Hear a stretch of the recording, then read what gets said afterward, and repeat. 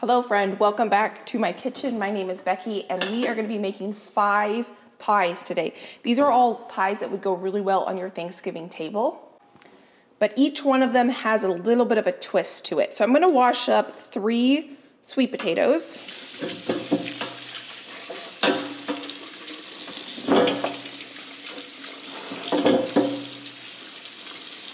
Not one of these pies is a traditional pie that you would think of for the holidays, which I'm really excited to try them all. Two of them are gonna be refrigerator pies and two and three of them are gonna be baked pies. So the first one that I'm going to get started with, it's not gonna be the first one we're gonna finish baking, but we need to get some sweet potatoes cooking for a browned butter sweet potato pie. So I think I'm gonna cook these on high for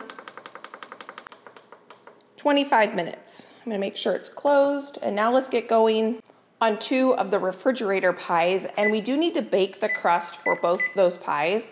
So I'm gonna preheat the oven to 350 degrees. I can link all these pie recipes down below for you if you wanna try making them yourself. The next thing we need to do is make the pie crust for the two refrigerator pies. And I need to melt three tablespoons of butter for each one. So I'm gonna go ahead and get those melted at the same time.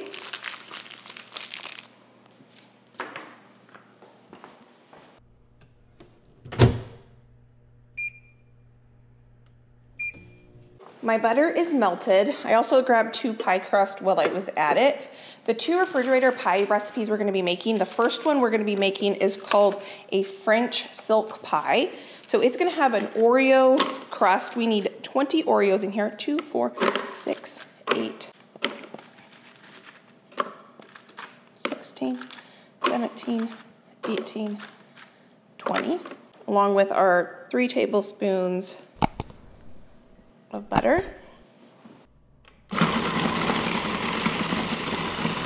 And that's all that it calls for for the French silk pie for the crust. So we're gonna get this into our pie tin and kind of press it toward the sides.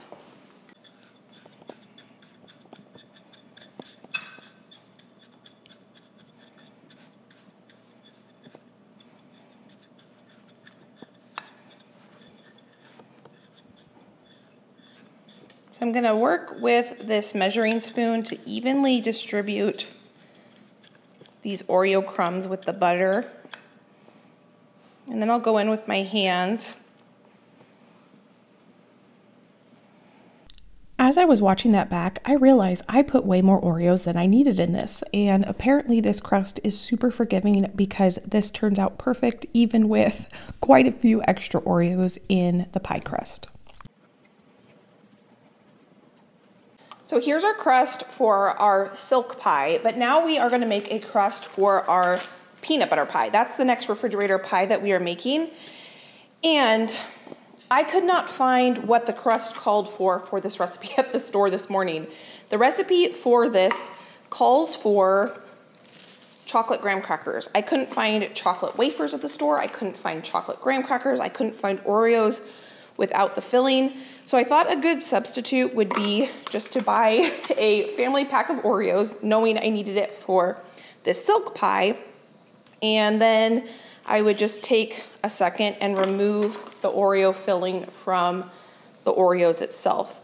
This might seem barbaric to some of you, but I think that this is the best way we can kind of substitute that chocolate graham cracker flavor. As I was driving home from the store, I thought, you know what I could have done probably is bought regular graham crackers and then just added maybe two tablespoons of cocoa powder to it. But I didn't think about that until I was already home. So I'm just gonna take a minute and I think I'm gonna do 30 cookies. Well, no, maybe I'll do, yeah, 30 cookies because I'm gonna be re removing some of the volume from the cookies and we did 20 for this pie. So 30 without the filling should be a good substitute. And then I'm gonna follow the same directions that say we need, oh see, mm, I don't think I'm gonna add the brown sugar because the recipe says to add some brown sugar, but I think these chocolate cookies are going to be sweeter than chocolate graham crackers.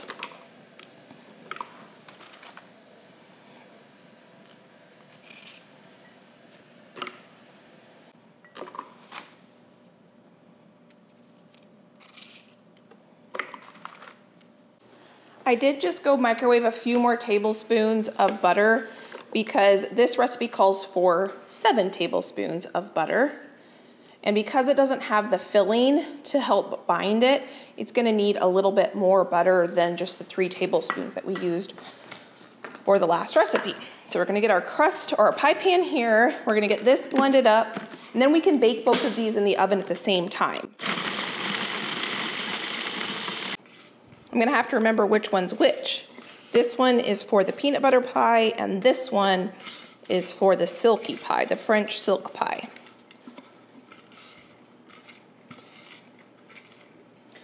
The one for the peanut butter pie is a little bit darker because it has more butter in it. So I'm gonna do the same thing where I'm just gonna work on getting this crust evenly distributed throughout and then I'm gonna push it in. I know probably to some of you to take the filling out of an Oreo is just gut wrenching. I have never liked frosting my entire life.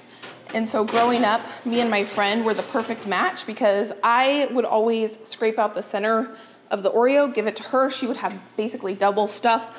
Oreos, I think before that was even a thing, I could eat the chocolate cookie part and she could have extra frosting.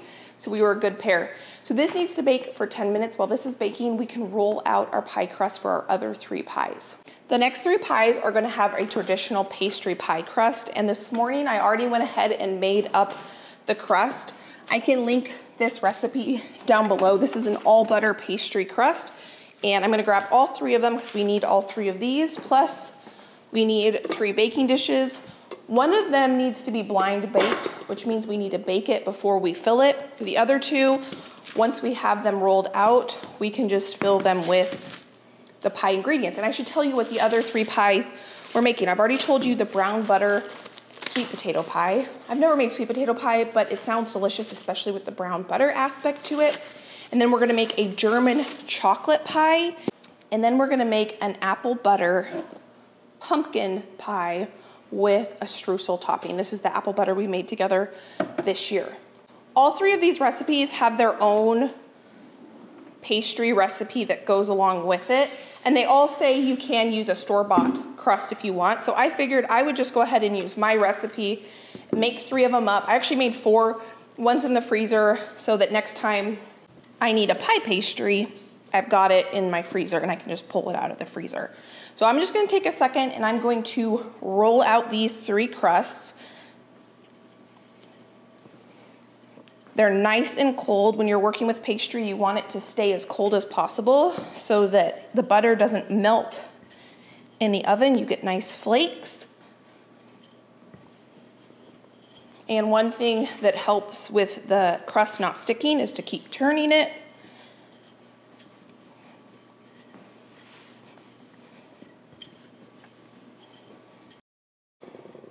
These three pies don't have top crust, they only have bottom crust. So we only have to roll out three pie crusts.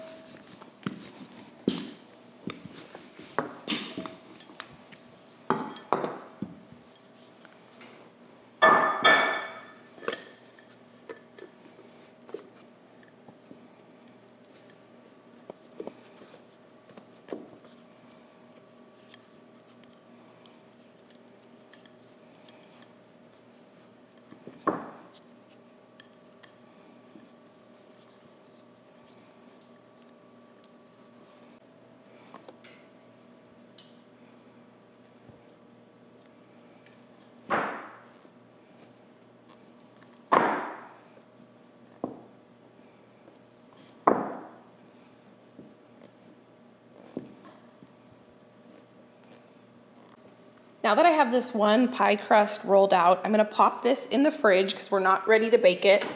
and I wanna keep that pastry as cold as possible. I'm going to probably blind bake the last one just because I need to get that oven to a hotter temperature before I can blind bake it. For the holidays, pies are one of the awesome things that you can make ahead. For sure, you can make the crust ahead and get this in your freezer. You can make all sorts of pies, pumpkin pie, blueberry pie, apple pie, and you can, some of them you actually make like custard pies, pumpkin pie, sweet potato pie, things like that. You make them, you bake them, and then you freeze them. Things like apple pie, blueberry pie, more like a fruit pie, those ones you can make them all the way up. You can make the crust, make them all the way up, but put them in the freezer before you bake them. And that way you can have a few things checked off your list that you need to do if you want to have a homemade pie on your family's holiday table without having to cook it or make it right before the event. And I'm just having fun today experimenting with some new pies that one I had never heard of until I was researching unique pie recipes last night. And so this is just for fun. That's my timer for these crusts so we can get these out of the oven.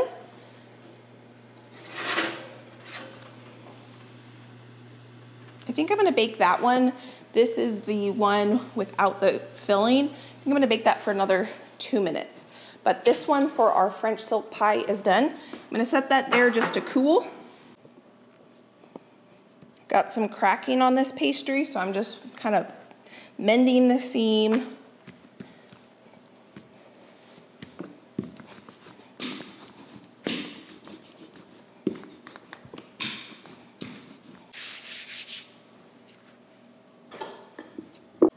Soon as I get this one rolled out and the sides and the edges all crimped, I'm gonna pop this one in the refrigerator just like I did the last one.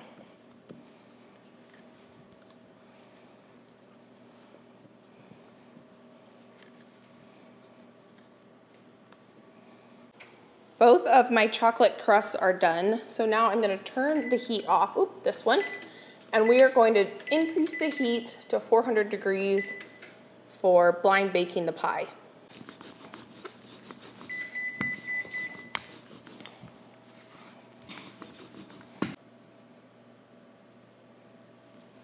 That's our last one.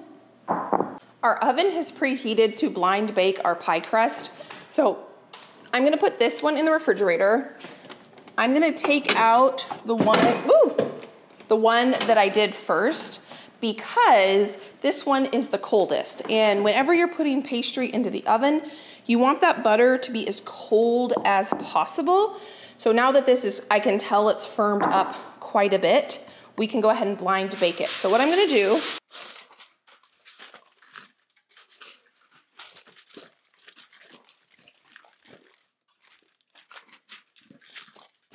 Oh, you know what we need to do first?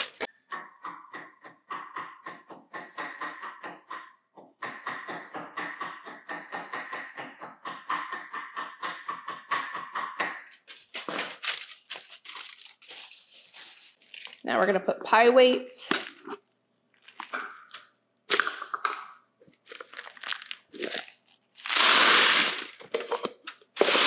We're gonna pop this in the oven for 10 to 15 minutes. Our sweet potatoes are still going. Let's see how these feel. Those are almost to room temperature, so we can actually get going on those. Those need to be refrigerated, and so let's make the custard. I was trying to think, should we start making the filling and get the pies baking in the oven while we make the custard? what should I do next? Let me think about that while I clean up the pie crust mess because I don't need this out anymore because we did all the rolling out of the pies at the same time, which means we can clean this up and we don't have to work in a floury mess. Have you all seen that reel that's going around? It's probably a TikTok too, where between every step of being in the kitchen, someone goes and like washes their hands. Well, that is totally me. I just don't always show it every time because it would be a lot, but after every step, I have to wash my hands. And I also like to kind of keep the kitchen clean too because I enjoy being in the kitchen when it's a little bit neater if possible. With cleaning the kitchen, it gave me some clarity. I've decided to make the peanut butter pie because this one is gonna come together so quickly. From start to finish, this pie is really, really easy. The first thing we need to do though, because we need to use the stand mixer to make whipped cream and to make the peanut butter filling and then we're gonna fold in the whipped cream. We're gonna make the whipped cream first in here.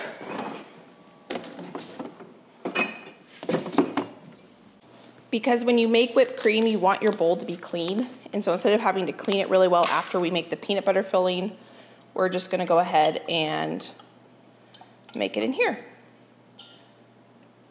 So we don't need to flavor this because we're gonna flavor the actual pie filling. So we're just gonna whip this until it's a firm peak.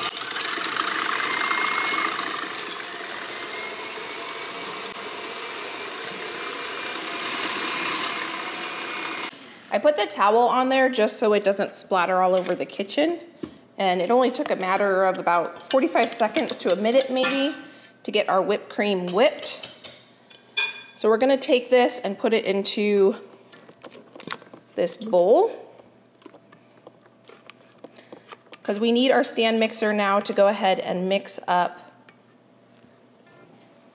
the peanut butter portion of this. To our stand mixer, I'm gonna add cream cheese, creamy peanut butter,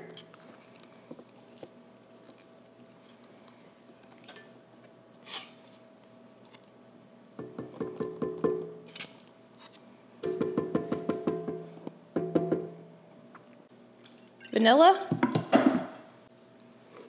and powdered sugar. I'm just going to put a towel back on this so that we don't get the powdered sugar everywhere.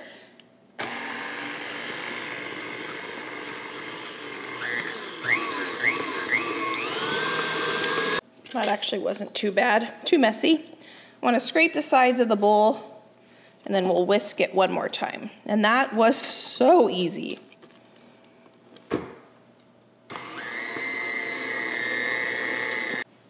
If you needed the fastest dessert, this could be one of them. You could even pre-buy the Oreo crust already made because you can buy those already made in the baking section and that would make you have to, or let you skip one step.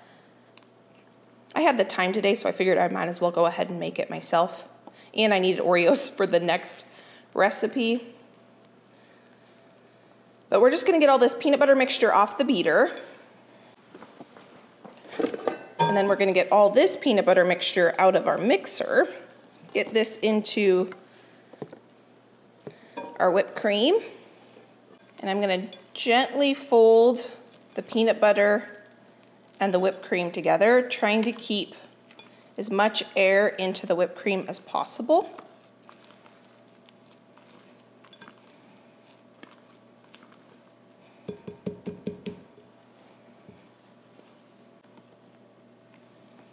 Once you have one homogeneous mass, then we can go ahead and get it into our pastry or our pie crust.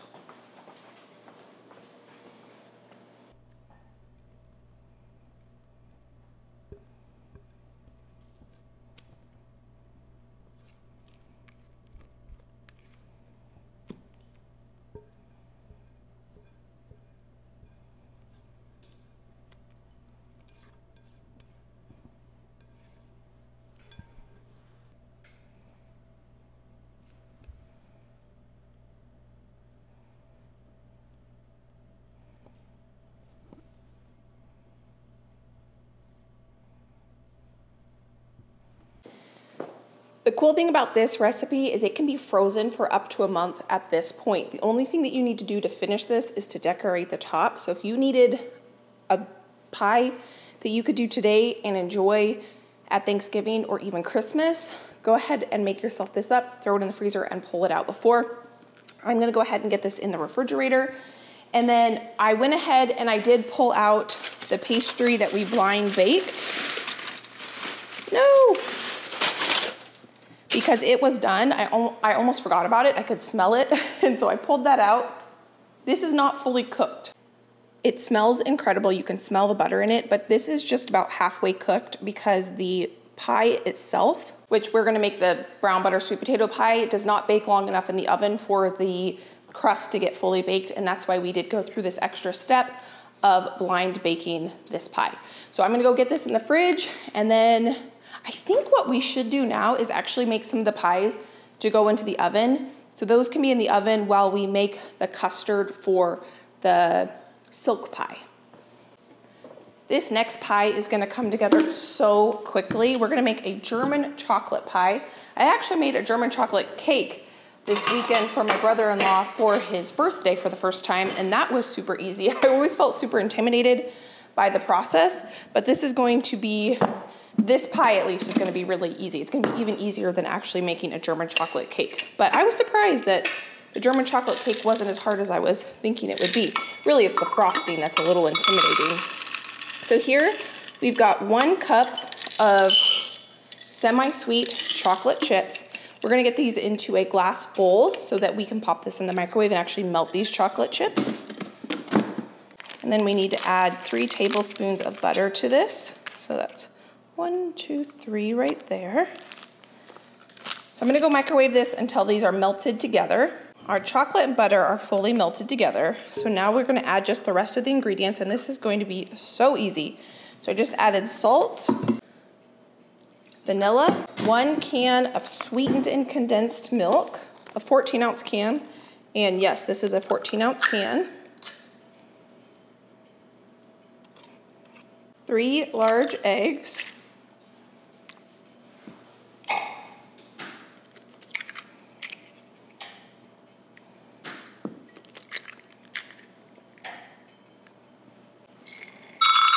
Three quarters cup of chopped pecans,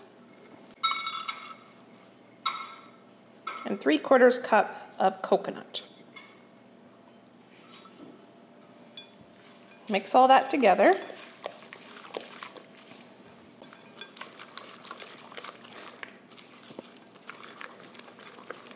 I'm gonna pull out one of our cold crusts from the refrigerator. This smells incredible.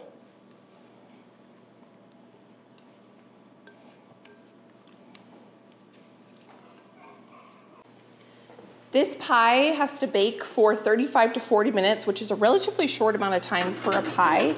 I find that pies typically take about an hour, so we will set the timer for 35 minutes and then check it. This is a 350 degree oven. I did have to reduce the oven temperature after having the pastry in the oven. So now let's go ahead, let's see if our sweet potatoes are done, and then we could make our brown butter sweet potato pie, and they are done. So I'm gonna need to get tongs because these are piping hot. I think I'm gonna let these cool down while we make our apple butter pumpkin streusel pie. Here's our apple butter. I just got my bowl washed out so we can make this pie. This one's gonna come together really quickly too. We've got our pumpkin puree here, and that's one cup, and we need one cup of apple butter. Oh my goodness, this smells incredible. So we can just use the same measuring spoon.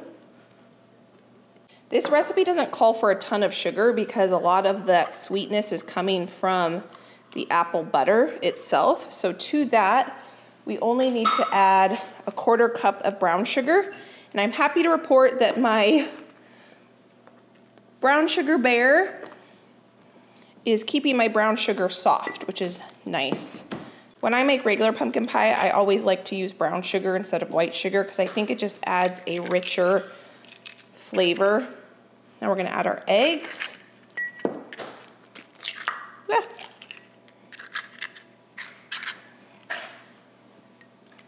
One can of evaporated milk. You can substitute heavy cream for evaporated milk if you want. That's what I do when I make my regular pumpkin pie recipe, just my standard pumpkin pie that I like to make. Then I don't use evaporated milk. I use heavy cream and brown sugar. I can link that recipe down below if you're interested. But because this is the first time I'm making this recipe, I am following it to the T, kind of. Because I don't exactly know how much nutmeg I added. I love nutmeg, so I just added that much nutmeg and that much salt. And then we've got a couple more spices. We've got cinnamon here and ginger. This recipe only calls for a quarter teaspoon of ginger, a quarter teaspoon of nutmeg. I probably put more like a half a teaspoon of nutmeg because I like nutmeg, and then a half a teaspoon of cinnamon. And I'm gonna add a little bit more cinnamon. It doesn't call probably for a ton of each of those because the apple butter is spiced already. So I should probably get a whisk out and whisk this together. And that's all the ingredients for this apple butter pumpkin pie. But we do need to make the streusel topping. This pie is supposed to bake at 375, and obviously we have that other oven at 350. So I'm gonna get this oven preheated to 375, if I can. Okay, it's preheating. And while I don't wanna pour my custard into my pie shell because I'm worried it would get soggy, so I'm just gonna set that aside and we can get going on our brown butter sweet potato pie while we're waiting for this oven to preheat. We only need to brown four tablespoons of butter, which is a half a stick or a quarter cup. So we're gonna get this in there while that's browning, I'm gonna go ahead and measure out two cups of sweet potato. I think I cooked more sweet potato than I need. We'll just eat it. The recipe said it was probably three potatoes, which I think it was more like one and a half because these are, I guess, pretty big sweet potatoes. Maybe almost two sweet potatoes. That right there is two cups of sweet potato. This is not gonna take long to brown at all because this is such a small amount of butter. Our butter is browned and smells divine. Turn the stove off. This recipe calls for almost all the same ingredients as the last recipe, so it's kind of good order to do this in. And then to cool that butter off before we add eggs, I'm gonna go ahead and get our two cups of sweet potato in here. We need a half a cup of heavy cream. So this recipe calls for cream instead of evaporated milk, which makes sense because you can use either or. We're gonna do our three eggs.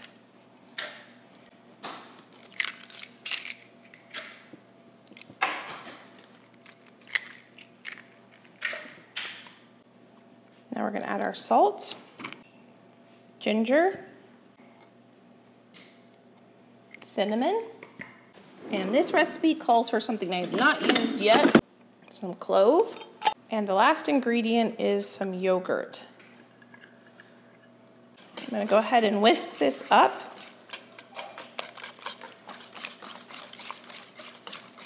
Now we have our two pie fillings here. I think our oven is just about ready. I think I forgot to add a little vanilla to this. Let's go ahead and do that now.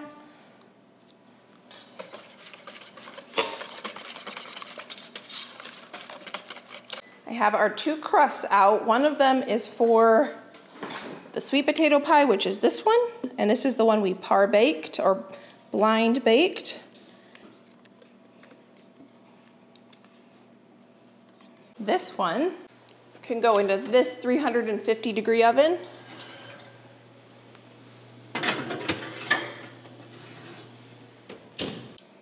Consistency of this one is much runnier. This is what I think of a more standard pumpkin pie texture. This one, I'm gonna go into this oven, which is preheated to 375. Now we officially have four of our pies basically done and our fifth one is started. But the fifth one is, doesn't call for a lot of the same ingredients that I just used for the other four. So this is what my counter looks like. I'm gonna take a second and go ahead and get this clean. Once I have this clean, this should only take me a second because most of the stuff is pretty easy to put away. We will go ahead and get started on our fifth and final pie. My kitchen is not clean yet because I decided to go ahead and reread this recipe for the French silk pie. and we need one of the components to cool. So I thought we should go ahead and get this going before we finish cleaning the kitchen. And that way I can clean the kitchen while all the goodies and everything are in the oven and chilling and all the different aspects that we need. And then I went to the store this morning to get a couple of the ingredients I didn't have on hand, and I need eight ounces of bittersweet chocolate.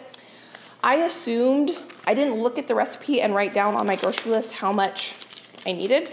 I assumed one bar would be enough, and as I look at this, this is only four ounces of bittersweet chocolate. So what I'm gonna do is break this into a bowl, and then I guess I'm gonna substitute with semi-sweet chocolate chips because I have an abundance of those. And I will weigh out, I've got a scale here. Let's see, where did I put it? Right here. I'll just weigh out four more ounces of chocolate and that should hopefully work. The only thing that I worry about is some chocolate chips have stabilizers in them. I don't know if the ones I have do. I bought them in bulk and I can't really look at the, well, I guess I could Google it, but we are where we are right now. And so all my drawers are open. So we're just gonna go with it. Okay, tear that.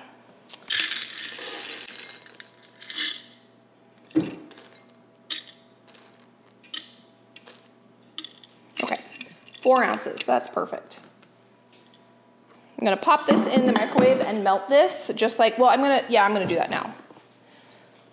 This recipe is probably the most complicated out of all of them. It still seems pretty easy, but I've had to reread this recipe a few times to make sure that I understand the steps that I'm working with.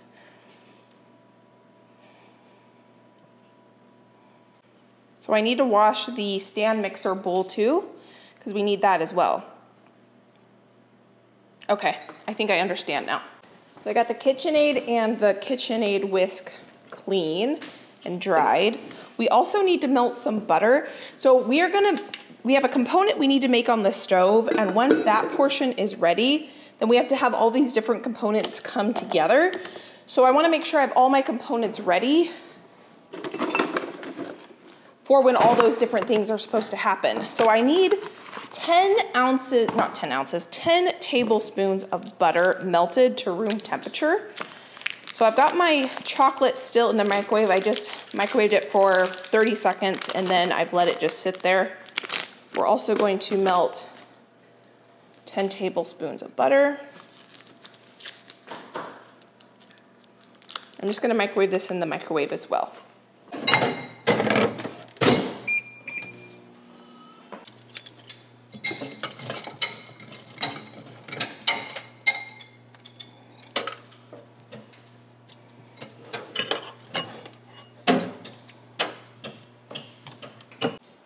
Our chocolate is melted. I gotta grab it out of the microwave. But I think our first pie is done. Look at that. That is our German chocolate pie. When I touch it, it feels cooked. Ooh, look at the bottom. It's nice and golden brown. So we're just gonna set this here and let this cool. And grab our chocolate. Oh yeah, that's nice and melted. I did not burn it. So now we've got our two components. Now it's time to make the third component, which is the sugar mixture. We've got sugar in our pot, and I've got some eggs here that are room temperature. And what we need to do is crack our eggs into our pot. We're actually gonna cook this so that we're not eating raw eggs.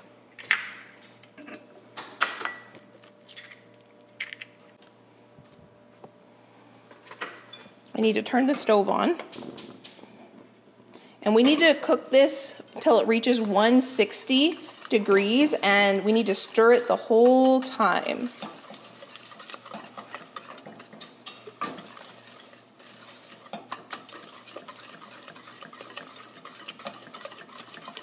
I think I'm gonna turn this really low because I don't want those eggs to scramble on me.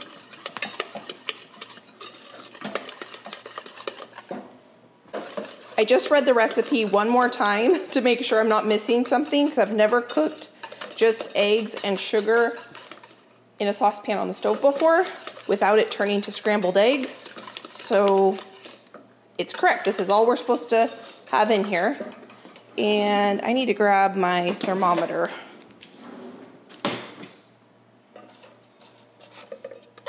So right now we're at 73.8 degrees.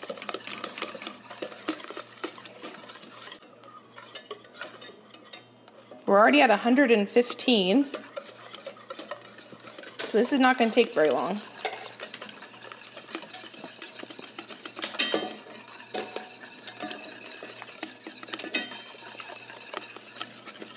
Hundred and twenty-four. We're at one fifty-seven. One sixty. Okay, one sixty-two. Turning the heat off, and I'm going to take this off the heat. Now we're supposed to take our melted chocolate and add this to our egg and sugar mixture.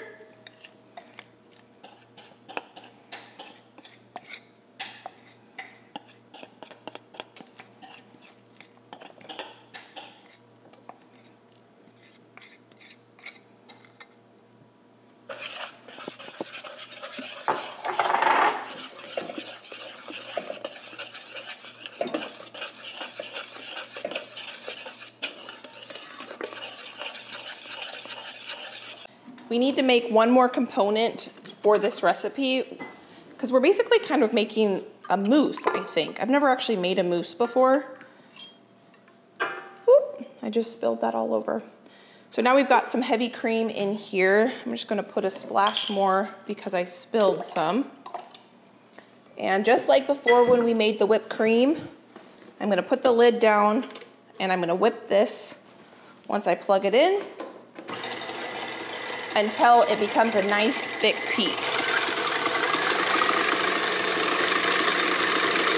To our whipped cream, we're gonna add four tablespoons or four teaspoons of powdered sugar. And I forgot to add the vanilla to the chocolate mixture, so I'm just gonna go ahead and add it in here. We're gonna fold all this together, so I don't think that's gonna matter that I put it in the whipped cream instead of the chocolate mixture. So I'm just gonna stir that in. We've already whipped this to our peaks. Once I get this whipped cream out of this bowl, I'm gonna rinse it because we need to whip the butter next that we melted just a second ago.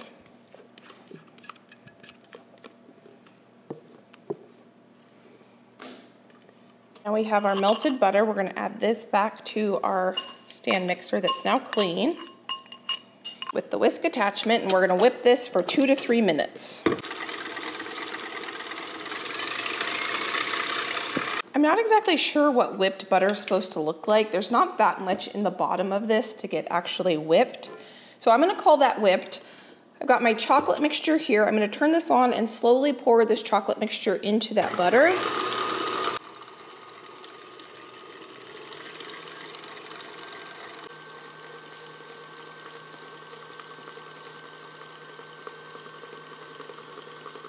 Think I need to scrape down the sides of this. And then keep whisking it. I think our mousse mixture is whipped. It's been whipping for a good five minutes like it said to. And that is our mousse. So now what we get to do is fold it into our whipped cream mixture. So just like we did with the last one, this is so silky and beautiful. It smells incredible in my house right now. You can smell the chocolate and all the warm spices from the different pumpkin recipes we're making. Okay.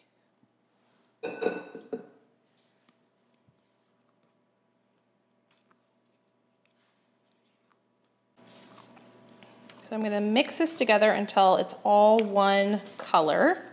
And I've got all the chocolate and all the whipped cream mixed together. This is gonna firm up quite a bit in the refrigerator because it has all that butter in it and all the chocolate that once this gets into the refrigerator, it's gonna set up beautifully. I think. I think it's gonna set up beautifully.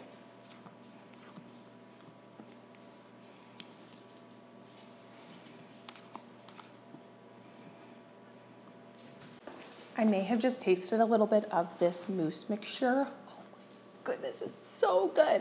It's not too sweet. It's that perfect balance of chocolate and rich silkiness, but it's not too sweet at all. It is perfect. And I think it's fine that I use those chocolate chips. I think it's gonna be, this is barely gonna fit. Oh my goodness, okay. So, we've got a little extra filling. I'm gonna go carefully put this in the outside fridge and I'm gonna pull out the other pie so we can decorate it. Our sweet potato pie is done. Let me show you when I jiggle it. It's a little jiggly, but not too much. So I'm gonna go ahead and get this out of the oven and cooling right here. Oh my goodness, friend. I completely forgot about the topping on this pie until just now. This one's done too. I think this is our apple pie slash pumpkin pie. The crust is nice and browned, and when I jiggle it, it's got a little jiggle, but it will set as soon as it cools. So we're gonna get this out I did have to put a piece of foil on both these pies for the last about 20 minutes. You can see how nice and golden our bottom crust is so that the crust on the top didn't get burnt and before it was completely set. So we can turn all the ovens off, which is awesome because it is kind of warm in my kitchen right now. I'm almost done cleaning the kitchen. I've been cleaning it for the last few minutes while the different things have been finishing cooking. I did pull out the chocolate pie and we're gonna go ahead and get that decorated. I'm not gonna forget to decorate the chocolate pie or peanut butter pie because I forgot to put the streusel topping on the pumpkin pie because I started making the second pie and I just totally lost track of that. So no big deal, no big deal. So I've got some chocolate chips I'm melting here and then I've got some peanut butter that I've softened as well here. So this is done. My pie is really cold, which is good. So as soon as the peanut butter hits the cold pie, it's gonna harden. So the first thing I wanna do is take some chocolate and kind of just drizzle it on the top.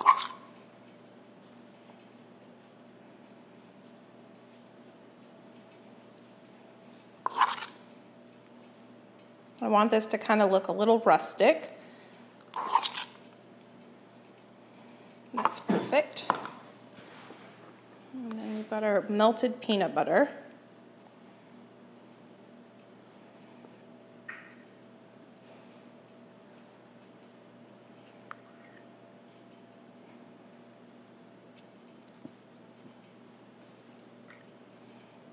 And this is gonna go back in the fridge and this peanut butter is gonna set up and it's gonna get so chewy, I think, and delicious. Now I think on top of the peanut butter, I'm just gonna add a little more chocolate just so it looks like it's kind of layered on top of each other. And then we are going to finish this with one final thing, and that's some Reese's peanut butter cups. I could not find the mini ones, which is what this recipe called for, so I thought I would just take the regular ones and cut them in half and put them on the cake like this. You know what I should do? Is put them on the opposite sides so I know I can get this evenly spaced. Darn it, I shouldn't have done that one first. We'll just go right across. Burp. I'm having them all face the same way too.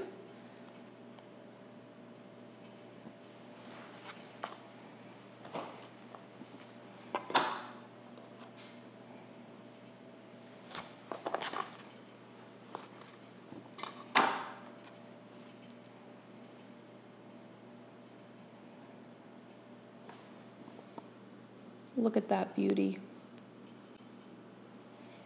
That was really easy too. Our French silk cake, cake.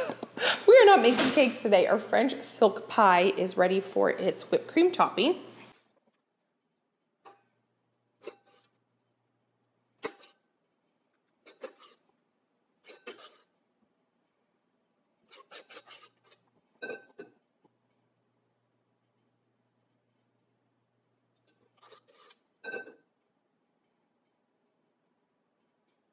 Here are our beautiful five pies. This one here is our sweet potato brown butter. Then we have our French silk pie, which I should have put this pie in one of these deeper dishes, but I did not realize how big this was. So it's a little full, but once it's fully set, it's gonna be totally fine and absolutely delicious. I mean, look at that yummy crust. And then here is our delectable peanut butter pie with chocolate our German chocolate pie, and then last but not least, our apple butter pumpkin pie with what should have streusel topping on the top, but it's gonna be just as delicious without it. So tomorrow I'm going to drop those off at different family and friends' houses throughout town, and I just had a blast having fun in the kitchen with you, experimenting with some new pie recipes.